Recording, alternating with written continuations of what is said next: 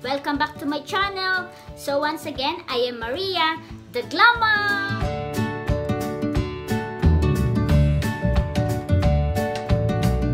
Okay, for today, I'll be having my first ever haul. Yes! I am very excited kasi nga, yun nga, first time kong mag-haul. And although konti lang naman siya, hindi naman siya marami, siguro mga nasa 3 items lang. Pero excited pa rin ako kasi first time ko ito. So ayun, ang haul po natin is manggagaling from Lambo!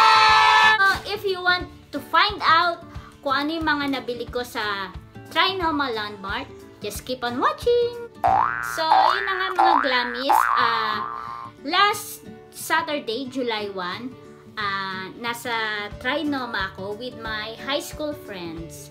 Yes, so, uh, nag-dinner kami doon. Then afterwards, we decided to make a window shopping. Kaya lang, hindi namin napigilan mga glammies kasi grabe. Ay, ang daming super gandang mga items. Especially dun sa mga makeup section sa may ground floor. Ang dami talaga. Sobrang gaganda mga makeup.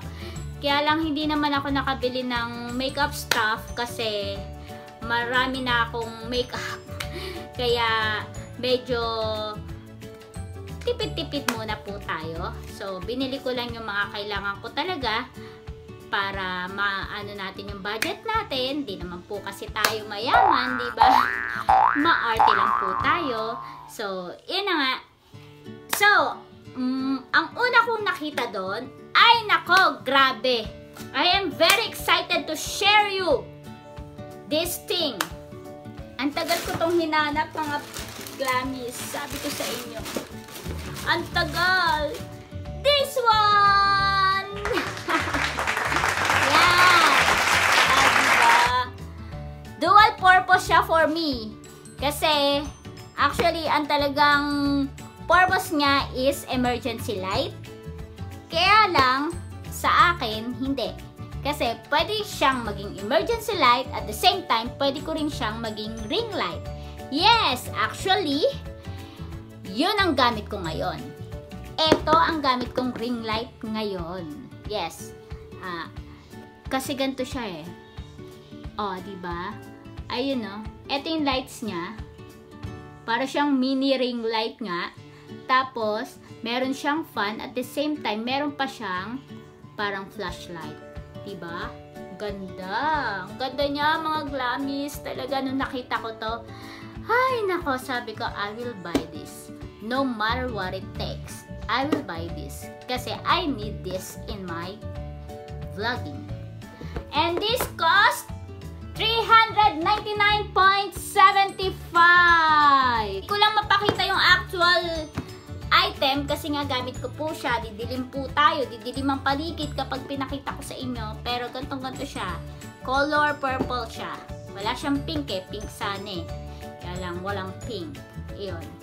Actually, dalawa kami bumili kasi meron din akong friend si Ma'am Shimons. Yes, actually, meron kami collaboration channel It's the Mamshi Duo. Sana, sana magkita tayo doon. Sana mag-subscribe din po kayo doon. The Mamshi Duo. Makikita nyo rin ako doon. And, the second item that I bought is here! Yay! Matagal ko na rin siyang hinahanap. Ah, uh, nakakita ako ng ganito sa Divisoria pero medyo pricey kasi mas malaki siya merong, meron kasi siyang kasamang brush organizer. Pero ang kailangan ko lang at this moment is yung lalagyan lang ng sponge. Ito siya in actual. Yan, ginamit ko na siya. Pinaglalagyan ko siya ng sponge.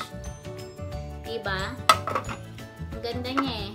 Actually, I am planning to buy one pa eh. For other stuff naman. Kasi ang cute niya, diba? Very classy pa ng dating niya. Kasi transparent. Diba? This cost 189.75. The last one, sabi ko sa inyo, 3 items lang, madali ang haul lang ito. Kasi wala naman po akong budget. is this! Yay! Nature Republic Aloe Vera Gel, 92%. Actually, ito, pabili lang po sa akin to kasi meron naman ako nito. Personal use ko, hindi ko pa ubos. Nirecommend ko to sa isa kong friend. Kaya nagpabili siya. Kasi grabe mga glamis. Alam ko hinuhoard to ng maraming YouTuber out there. Pero kung hindi pa kayo nakakabili at hindi pa kayo nako-convince ng ibang YouTuber, ako na mag-convince sa inyo, bilhin nyo siya. Ay nako, sobrang daming purpose nito. Pwede siya sa hair, pwede siya sa skin, pwede siya sa mga sunburn, and especially, pwede siya sa face natin. Yes, this can be also serve as our moisturizer. Sobrang ganda niya talaga. Ito kapag ginagamit ko siya as my sleeping pack up after ng after ng moisturizer ko, after ma-absorb ng skin ko ang moisturizer, ginagamit ko siya as a sleeping pack after ko ipahid. Sobrang cool. Yes, it's very refreshing talaga. Tapos matutulog na lang ako. Kinabukasan ko na siya tatanggalin. At naka, ang ganda! Pagtanggal mo, mararamdaman mo talaga mga glamis, sobrang lambot ng iyong face, tapos very supple siya.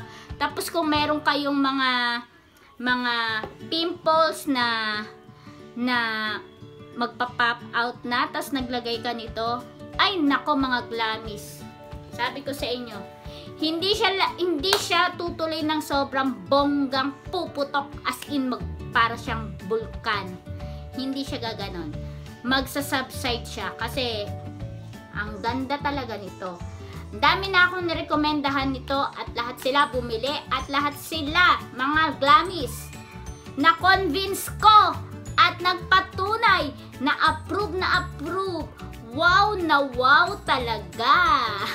O, diba? Haul na. May review pa. okay, mga glammies. That's all for today. I hope to see you again on my next video.